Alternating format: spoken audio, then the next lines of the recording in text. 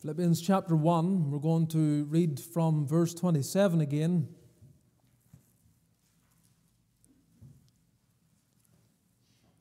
Only let your conversation be as it becometh the gospel of Christ, that whether I come and see you, or else be absent, I may hear of your affairs, that ye stand fast in one spirit, with one mind, striving together for the faith of the gospel, and in nothing terrified by your adversaries, which is to them an evident token of perdition, but to you of salvation and that of God. For unto you it is given in the behalf of Christ not only to believe on him, but also to suffer for his sake, having the same conflict which he saw in me, and now hear to be in me. Amen. Let's still our hearts, beloved. Lord, we commit now this time to Thee. We pray for power to declare Thy word, not for the wisdom of man, but for the power of God. We ask that Thou wilt use this instrument now to declare Thy truth in such a way that not only will the word have free course, but that it may be glorified, and that Thou wilt use it to be applicable to every soul gathered here this morning. So help us, fill us with wisdom and power, grace and love and do thine own work now, extending thy kingdom and glorifying Christ, in whose name we pray. Amen. While the gospel is good news, it is not a call to easy living. There's always a price when one embraces the gospel of our Lord Jesus Christ. To give us the good news required the Son of God to give his life. And to receive the good news requires us to give over our lives. This is the message of the New Testament. Jesus suffered to deliver us from that which we could not deliver ourselves from. And we are called to suffer in ways which are not dictated by ourselves. We are called to follow his lead, follow his example, and go wherever he would have us go. The gospel, rightly understood, calls us to repentance, to self denial, and the complete surrender of our lives to His Lordship. Now, for many of you, that goes without saying, but to some, that may be new. We are called to be willing to suffer reproach, to give up popularity, and at times to sacrifice ourselves, our possessions, and our comforts. Jesus suffered to bring us the gospel, and we must suffer to own it. This is the message of the New Testament. When we come to verse 27 of the first chapter, we have the first exhortations being brought by the Apostle Paul. And it calls us, as we have said before, to heavenly living. Salvation, you see, is not a one time action, it's a lifetime affair. We need to get hold of that. It is not, I prayed a prayer. It is, I am living a life. We are called to conduct ourselves as heavenly citizens, the heavenly citizens we claim to be. It's not just I'm going to heaven, but I am a citizen of heaven, heaven already. The entire letter prior to verse 27 has not called us to anything. But by the example of the Apostle Paul, it has made some sharp application to us.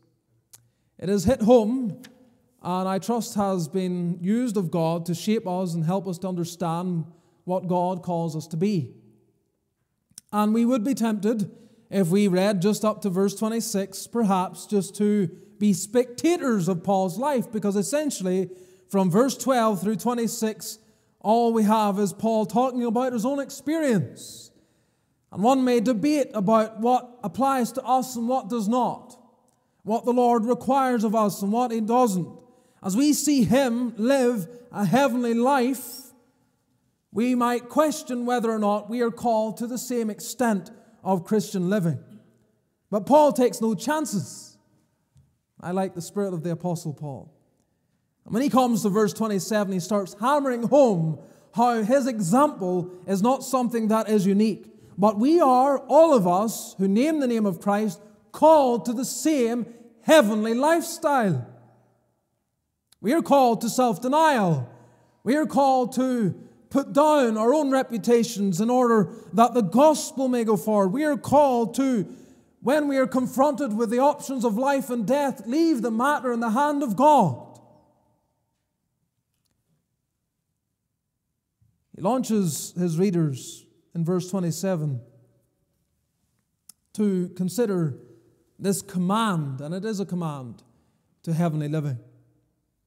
And then, following that command, only let your conversation be as it becometh the gospel of Christ, he then goes on to give signs of a heavenly people, and that's what we considered last week.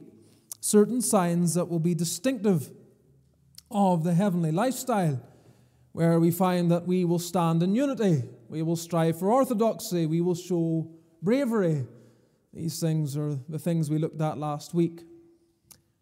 And these signs are signs that must be found in us all, beloved. Unity is not an option, unity is necessity for the body of Christ.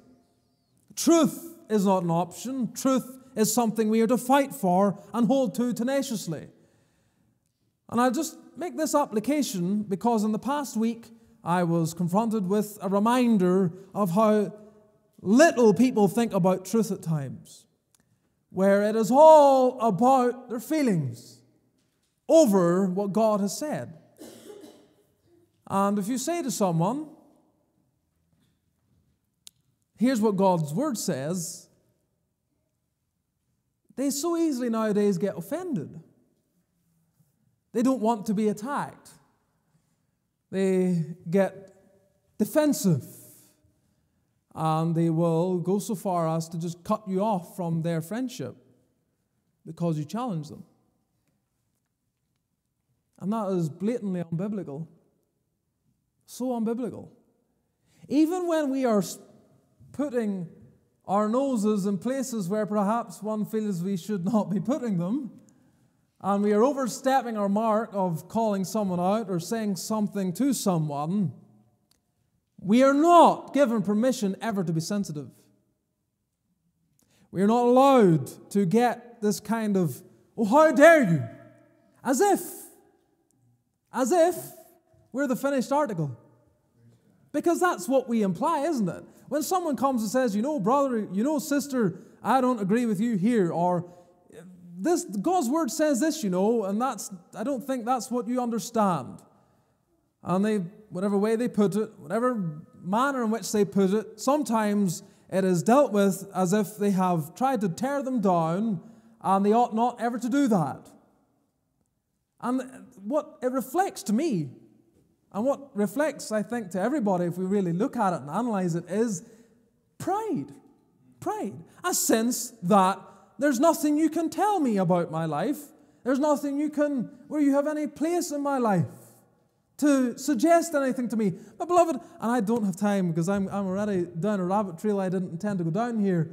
But if we go through the scriptures, it is clear that sanctification is a social work, it's not an individual work. And we are to provoke one another to godliness. We are to encourage one another. We are to restore one another in the spirit of meekness. We are to suggest corrections where necessary. And I don't mean we do it with pride or we do it in a sense of being puffed up. And I'm not saying that we all should be meddling in all others' affairs. I'm not saying that. But if someone does come to us, being sensitive should never be the response. We should listen to what people say. They perhaps see things that our eyes do not see.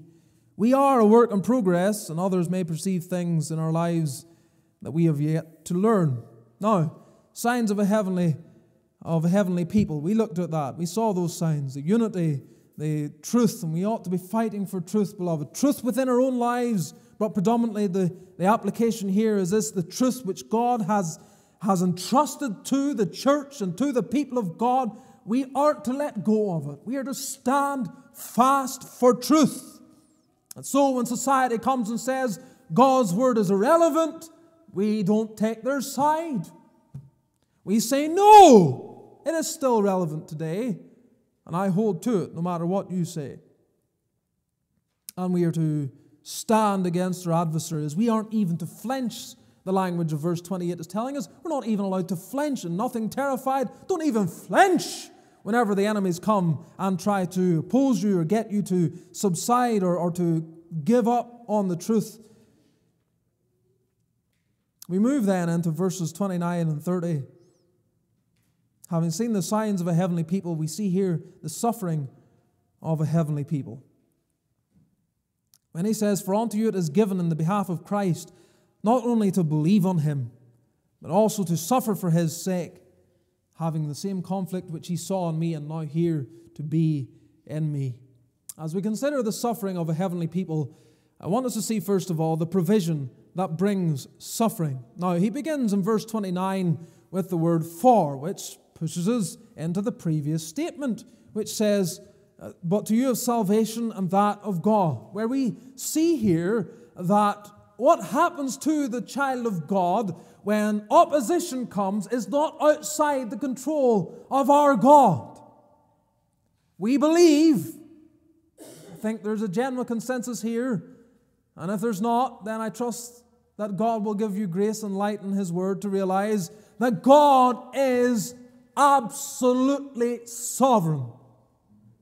We don't believe in a God who gets surprised. We don't believe in a God who can't control things, that he stands back and spectates in the affairs of man's life. We don't believe that. Even in the affairs concerning the Son of God, everything that happened was the determinate counsel of God, Peter tells us. He is sovereign.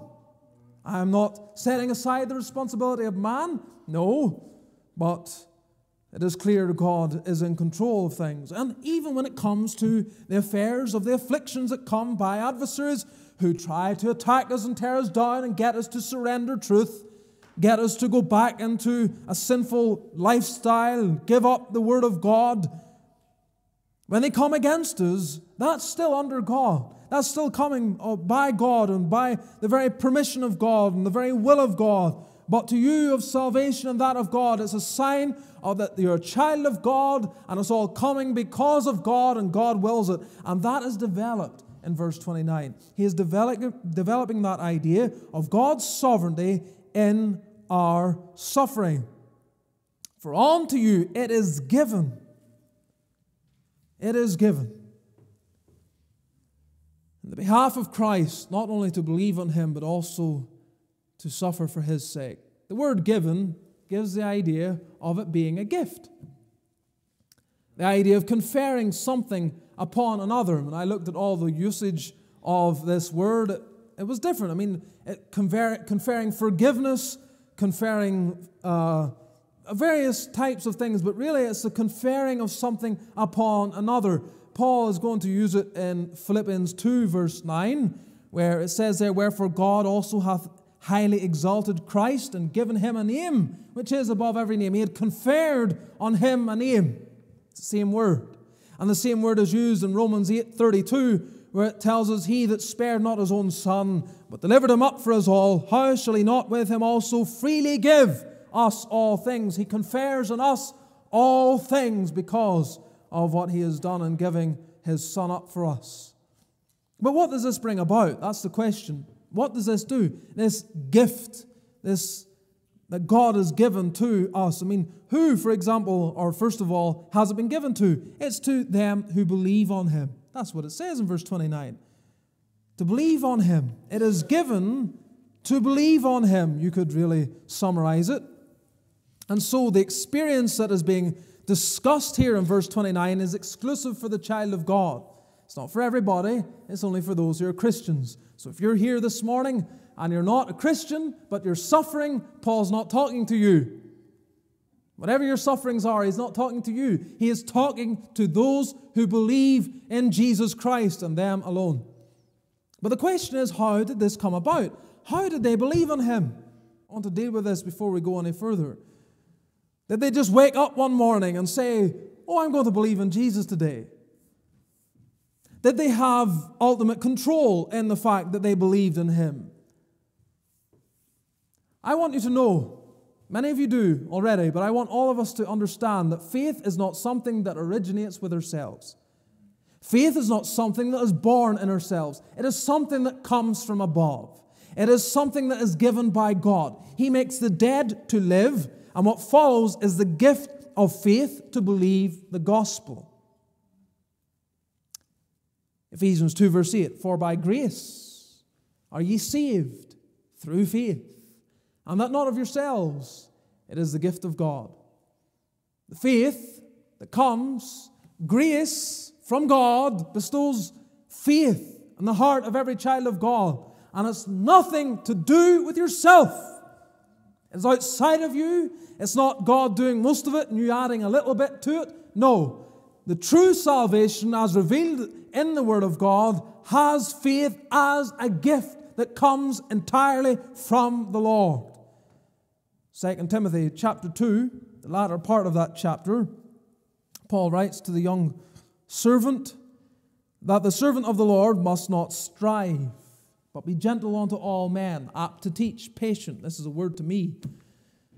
In meekness, instructing those that oppose themselves those who go against the truth and doing damage to themselves, if God peradventure will give them repentance to the acknowledging of the truth, that they may recover themselves out of the snare of the devil who are taken captive by him at his will. So you look at it exclusively in the latter part, they recover themselves, but look at how they recover themselves. If God peradventure will give them repentance to the acknowledging of the truth. It's a gift. And when you go through the scriptures, you find that both faith and repentance, as highlighted by Ephesians 2 8 and 2 Timothy 2, we find both of them are gifts from God. I can't even repent without God bearing it up within my heart. The text that we're looking at also enforces this idea. For unto you it is given in the behalf of Christ, not only to believe. I mean, Paul could have written, It is given on behalf of Christ for you to believe. But they knew that. That was more well known by those at Philippi. I mean, if they read verse 6 of chapter 1, they would know that as well, because it's God that begins the work. But that was more easy to grasp. God has given us salvation. The question is, what about our suffering? What about that? And that's what we're going to be looking at as we go through this text. But we're looking first at this idea. It's been given in the behalf of Christ not only to believe on Him, we have been given the gift to believe on Jesus Christ. And that's a glorious thing because when I think of myself, if it had been up to me, I never would be a Christian. Never. There's nothing in me that seeks after Jesus Christ. Even as a believer, my flesh, I feel like Paul so often. The good that I do, I do not. I, this, this, this desire to do good doesn't always get accomplished because there's this conflict of interest between what I know to be right and what my flesh wills. And so, if that's my condition in a regenerate state with the life of God and being a child of God and adopted into the family of God, how much more hopeless is my condition without any life? I have no desire for Jesus Christ by nature. I hate him. Jesus makes it clear in John 3 men love darkness. Why do they not come to the light? They love darkness. The only thing that brings them to the light is the sovereign working of a sovereign God in mercy. And if you're a child of God here this morning and there's one thing you can rejoice in, and if you don't get the rest of it, you can rejoice in this God who is rich in mercy, for his great love wherewith he loved us. He has sent that love upon me, and I now today am a child of God. Hallelujah! Because whatever I'm facing, that can't be taken away from me. I'm sealed unto the day of redemption. But the point is, not only given to believe on Him, He is using that as a basis to say God has given this, but also, look what He says, also to suffer. We are to suffer. We are then, as the people of God, to recognize that what follows salvation is suffering. We live in a time where we hate suffering. We don't really know what suffering is for the most part, but we're so averse to it, we will avoid it by every possible means. You just don't want to suffer. Hedonism. That's what we're after, isn't it? Hedonism. It's all about what feels good. And suffering doesn't feel good, let's avoid it. Well, child of God, as it has been given to you to believe on Him, it's also been given to suffer. And we need to get hold of that. Secondly, the purpose of suffering. What's the purpose? Well, it's to suffer on the behalf of Christ. It has been given on the behalf of Christ. And there's these two little phrases. It's, it's kind of awkward in a way, but really what Paul is doing is saying the same thing twice. It is given in the behalf of Christ. Salvation has been given for Christ's sake, but also suffering has been given for Christ's sake, and that is underlined when he follows up also to suffer for his sake. So the main subject is suffering. And we are called on the behalf of Christ to suffer. We are called to do it for his sake. And this is what gives us encouragement when we realize that we're suffering. Realize that salvation is a package deal, that it comes with suffering. You don't get one without the other. So, if there's someone here this morning and you say, Well, I'd like to go to heaven, but I don't want the suffering that Christianity brings, you can't be a Christian. I mean, this is the parable of the sower, isn't it? And Jesus starts telling us about the, the way, the different responses to the preaching of God's word. There are those who receive the word with joy. And for all intents and purposes, when you look at it, it seems as if there's real life there. But then something happens. They face persecution, they face hardship, and they wilt in the heat, and they die. Proving not that you can be saved and lost, but proving that the root of the matter was never there. Because when God does a true work, again, verse 6, if He's begun the work, it will be performed until the day of Jesus Christ. We are called to suffer. Now, the question is, what is the suffering we're called to experience? Because I know what we're like. We're, we're, we're selfish, aren't we? we or we are always thinking about ourselves. And right now, you're thinking about your suffering, aren't you? And you're thinking about how my particular suffering at this present time, God has given to me, uh, along with salvation. And there's a sense of truth in that. And there are passages I could turn to and say that applies to wherever you are. You could say, I'm suffering in this regard, and I could turn to the Word of God and say, Look, yes, God is in control of this. You're suffering for, for this purpose, and God will glorify Himself through it all. But in the context here, it's not whatever suffering we want to desire. The suffering, contextually, is that which comes by way of enemies of the gospel of Christ. It is that suffering which comes for having to take a stand for Jesus Christ. It's that suffering which your family may confront you with when they are annoyed that you won't go to uh, their drinking parties or they are annoyed because, uh, you know, maybe your children aren't Christian and you're saying, no, you can't do that because uh, that goes against God's word. And they, you, get, they, they, you get all the angry language that teenagers can sometimes throw at their parents. And they're angry because you would do that, but you're doing it for the gospel, and they hate you. And they say they hate you at least with their language, but it's, it's for it's your stand for the gospel's sake. It's that kind of hatred that comes from your boss, who's always forcing you to do the overtime, who's making you do the certain tasks. It's that suffering that comes whenever he won't let you get promoted, even though you're the best person for the job. It's that kind of suffering that comes along whenever colleagues talk about you and and kind of isolate you away from themselves, away from them.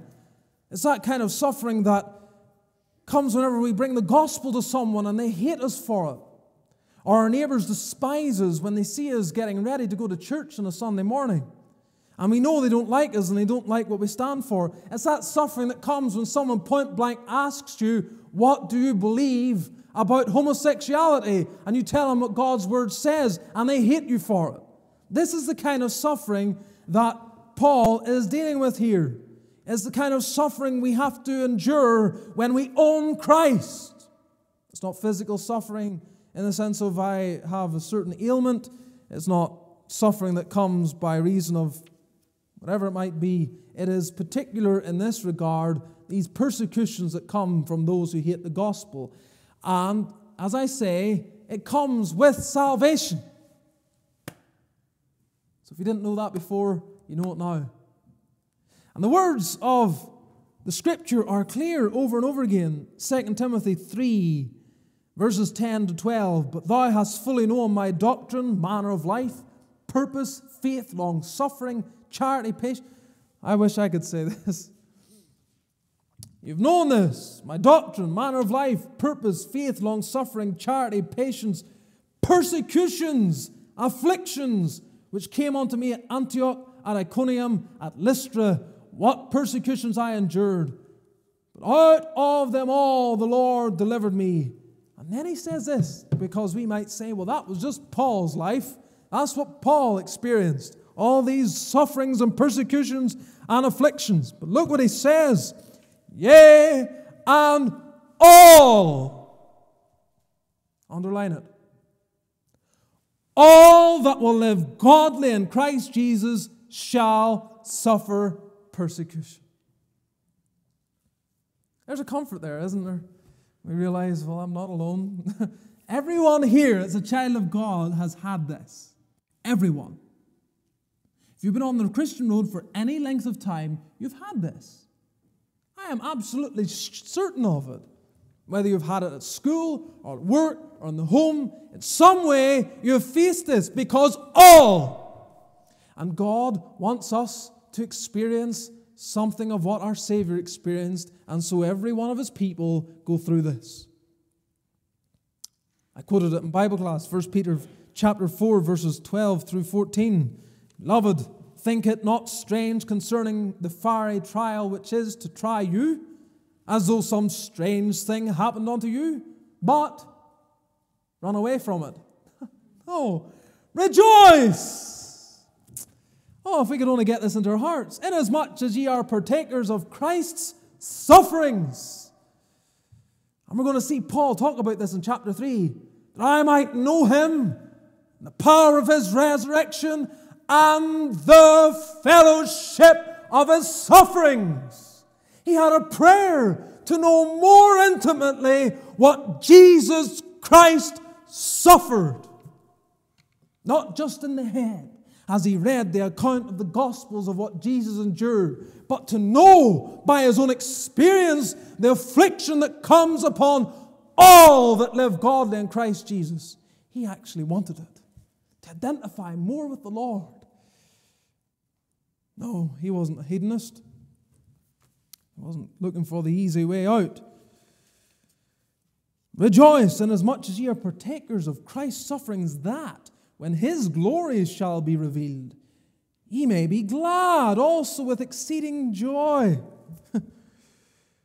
if ye be reproached for the name of Christ, happy are ye, for the Spirit of glory and of God resteth upon you.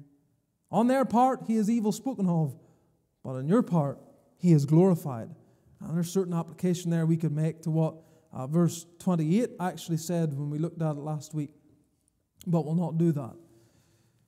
So, some of you are suffering this in the workplace, some more than others, but all will suffer. We all will go through this. And you're living or working with those who oppose the gospel Take what Peter says to heart. Don't think it's strange. It isn't odd. You're not living in an ungodly way. In fact, if anything, it could be telling you that you're actually living godly. Because all that live godly in Christ will suffer persecution. There are various reasons to see the purpose in our sufferings in this regard. It promotes assurance, first of all, Many of us struggle with assurance, but when we have to make a decision about whose side we're on, it helps. It helps when we're called to make a decision. Whose side am I on? Will I butter up to my boss when he wants me to do something that contravenes the Word of God? I work as an accountant. Somebody comes and says, fiddle the books. No! Get another accountant. Not going to do it. And you suffer for it. Threat of your job, breaking the contract, you get all of that. But then, on the other side, you get the sense, well, this is what it's like to be a believer because if I had my way, I wouldn't do this. But the Lord gives grace. It's not persecution when a brother points out a legitimate error. When we're committing some sin and someone gives us grief about it, that's not suffering. And Peter deals with that later on, being suffering for the fact that you're acting like a thief and so on. That's not suffering. But when you take a stand for truth and you're opposed, well, it, it promotes assurance of salvation. It gives us a sense that we are the Lord's and we identify with the sufferings of Jesus Christ. It also promotes separation. Because it's hard to be worldly when we're suffering for Christ. It separates us. And Jesus talks about this in John 15, verse 19 and 20. If you were of the world, the world would love his own. But because ye are not of the world, but I have chosen you out of the world, therefore the world hateth you. it's like this, as simple as this. you're either in the world or you're not. And if you're mine, they're going to come at you if you're truly living the Christian life. If you claim to be mine, but you live like the world, there's something wrong. You're probably not the Lord's. But if you are the Lord's, you'll be on his side, and that brings the world as your enemy. And they hate you for it. Remember the word that I said unto you the servant is not greater than his Lord. If they have persecuted me, they will also persecute you. If they have kept my saying, they will keep yours also. So if they're for me, they'll be for you. They're against me, they're against you. We are in the world, not of the world. And it will be obvious to those who are of the world that we are not of the world. Should be. Young people, you need to take that to heart. All of you. That you're not of the world. And it should be clear to all around who are of the world that you're not of the world. You have to be different. The gospel calls us to separation. It promotes the gospel. When we are persecuted, it spreads the gospel. We think of Acts chapter 8, whenever those who were persecuted at Jerusalem and they were scattered abroad, they were pushed out, and they went everywhere preaching the word, it tells us. And bring that into modern terms. You, you might not have persecution that will drive you out of your home. That day might come. It might. I trust not. I don't will it. I don't pray for it. I don't desire it. I've heard people pray for it. I've heard people, I've sat in prayer meetings where a Christian has prayed, Lord, bring persecution upon us. And that is not the will of God. I know there's this thought if persecution comes, it will purify the church and I'll make things much easier as you see all the nonsense and drivel and dross be driven out. I know that. But we are, as much as is possible, to live peaceably with all men. We are to desire peace, but not to compromise truth in order to get it. And there's the difference. But if we, we could be driven out of our jobs. Take a stand. I've given some scenarios that could see you cut off. You won't do those books that way. You're fired. Well, you're being scattered abroad. That's how I would say it. You're being scattered abroad. God has somewhere else for you to serve. You can be faithful there. It promotes the gospel, it promises an eternal reward as well. Matthew 5 10 through 12, what does Jesus teach us? Blessed are they which are persecuted for righteousness' sake. And you could just put in there for Jesus' sake, because it's the same thing. For theirs is the kingdom of heaven. Blessed are ye when men shall revile you. I think I need to read that slower.